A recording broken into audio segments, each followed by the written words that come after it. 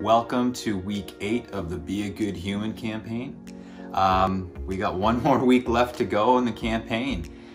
So next week will be week nine.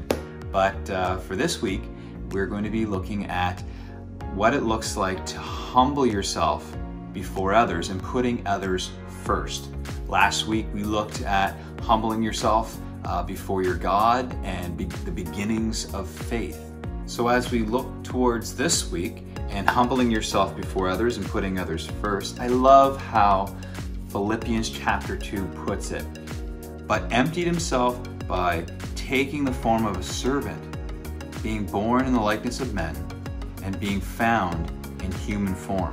He humbled himself by becoming obedient to the point of death, even death on a cross. Jesus was this perfect example he he came down as, as, as God and emptied himself. He didn't need to humble himself, but he chose to. He chose to empty himself to serve us. When he served us, Jesus was active and moving. He wasn't sitting still. He wasn't doing what some of us are doing right now. Now, as you might see, I'm, I'm sitting on my couch, and that's for a reason um, I want to use the example of something that you guys might have seen this week uh, so going around social media. It was circulating through our, our feeds and whatnot, and it goes on to say this. I'm going to read it out loud now. And it says, You can't serve from your sofa. You can't have community of faith on your sofa. You can't experience the power of a room full of believers worshiping together on your sofa. Christians aren't consumers. We are contributors.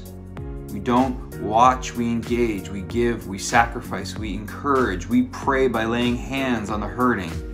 We do life together. But it doesn't stop right there because let's face it, as humans, we would be making the excuses as to how this passage doesn't really apply to us or um, we're too busy. I'm too much of an introvert or I'm just really comfortable.